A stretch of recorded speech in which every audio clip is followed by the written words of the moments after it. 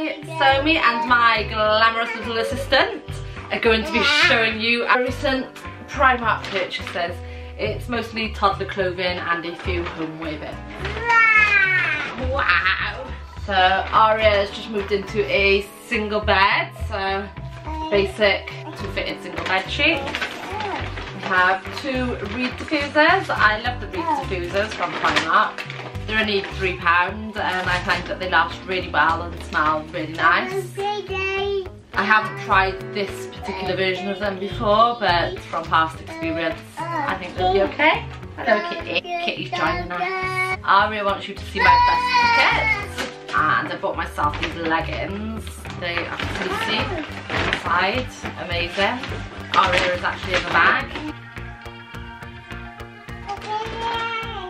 This dress is not my usual style for Aria at all, but there is a reason for it in the form of these trainers and this jumper. Again, the jumper's not my usual style, but when I saw the dress with the jumper over it and these little trainers on the stand, I fell in love with it and had to buy it all. Nobody wants to see Mummy's knickers. Mummy knickers checked shirt for Aria.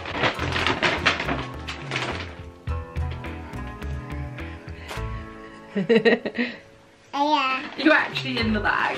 Some jeans for Aria, a little star prints on. Yeah.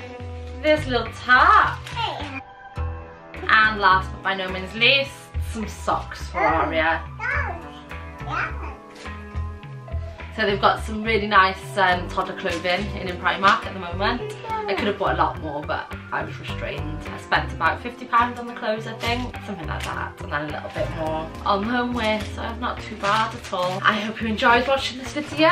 If you did, please like and subscribe. Thanks for watching. Bye. Bye-bye. Bye-bye. Bye-bye. Mwah.